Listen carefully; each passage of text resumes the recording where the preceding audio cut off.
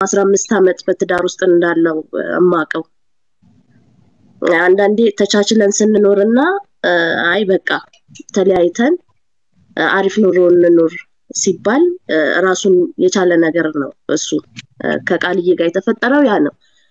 በጠብ አይደለም፣ ባለመግባባት አይደለም።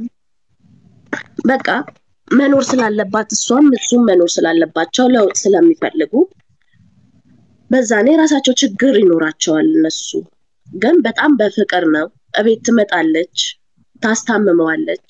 ተው ሌላ ስትሄድ አስፈደችው ወደ አሜሪካ። ትናንትና ወንድሙ ስር ግብት ብላ አሽዬ ምን ላድርግ ሂጂ ብሎኝ ነው እኮ ነው ስትል የነበረው። ሂጂ ብሎኝ ነው እኔ እኮ መሄድ አልፈለግኩም ነበር ስትል የነበረው። ለምን እንዲህ አይነት ወሬዎች እንደሚወሩ የለችም ሁሉ የሚሉ አሉ። ስለ እውነት ይኸውና በድንጋጤ በጣም ብዙ ነገር ስለሆነች ልብሷ እኔ ጋ ነው ያለው። እኔ ጋ ነው አጥቤ ያሳደርኩት። አጋጣሚ ከኔ ወስጄላት ማለት ነው። አልታየችም፣ አልመጣችም። እናቷ ብቻ ናት የመጣችው። ምን አይነት ጨካኝ ናት የሚል ሰው አለ። ለምን እንዲህ እንደሚደረግ አላውቅም።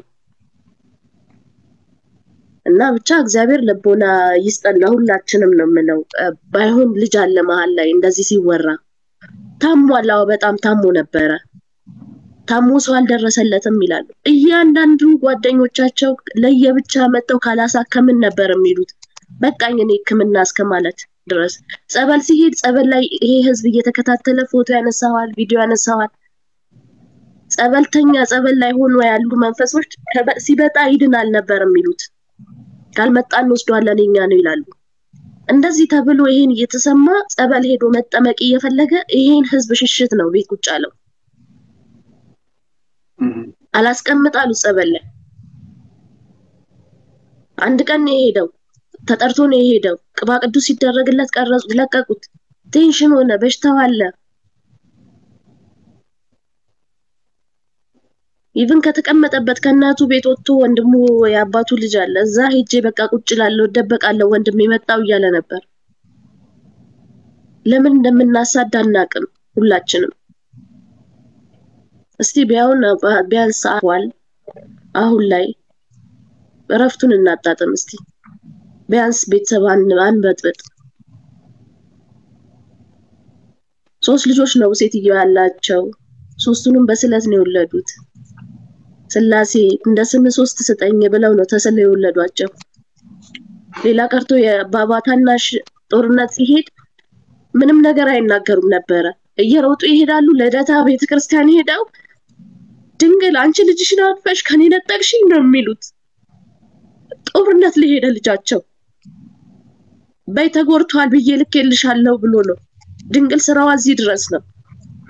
አላስቀምጣለሁ እኛም ልጁ እንጂ በደንብ ነው የታመመው። በደንብ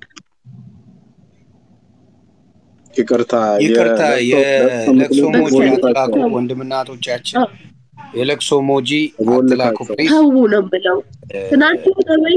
ነገር ያበላሻ ሚውት አድርጋቸዋል። እኛ ለአማራ ስንጨው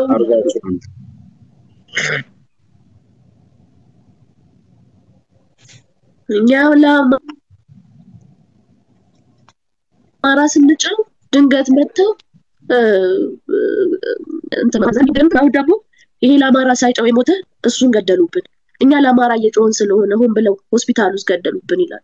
እቤት ቁጭ ብሎ ፊልም ካለ እንትን ኳስ ካላየው ብሎ ቀና ብሎ ኳስ አይቶ ሲስ ራቤን ብሎ ወንድሙን ምግብ አሰርቶት ምግቡም ሳይበላ ነው ያረፈው። ስድስት ሰዓት ላይ የትም አልሄደም፣ እቤቱ ነው። እና ለምን እንዲህ አይነት ከፖለቲካ ጋር አንዴ ከምናምን ጋር ይረፍ። በእውነት ያማል ያማል። ልጅቷም ትረፍበት። በጣም በሚያሳዝን ሁኔታ ላይ ነው ያለችው። ትናንትና ሌሊት የመጣች ምግብ በአፉ አልዞረም።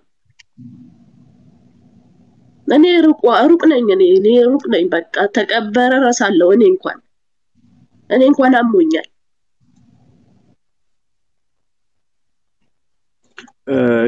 ይቅርታና ምናልባት በጣም ነው የምታሳዝነው። እኔ እውነት በሁለት መልኩ እኔ ማየት ስለምችል አንደኛ አብሮት የነበሩ ለምሳሌ ብዙ ጊዜ አብዛኛውን ሰዓት እኔ ቃጥላ ማርያም አይ እኔ ቦሌ አራብሳ family ያለ እዛ የዛኔ በነበረ ሰዓት ነበርኩ። ግን ለምሳሌ ስምን መጥቀስ ይቻላል ፊት ለፊት ላይ የሚታዩት ማለት ነው። ሁለት አይነት ነገር ስላለ አንደኛ ነገር ለምሳሌ እነ ቸርነት ገባሽ አይደል? እነ ቸርነት እነ መሳይ ተፈራ የእሱ የእሱ ጓደኞች የሚገርም የሆነ አብዛኛውን ሰዓት አሁን የሚባለው አንድ ሰው ነው ሁለት ሰው አይደለም። እኛ ስለምናል ብዙ ሰዎች ከእሱ ጋር አብረው ነበር።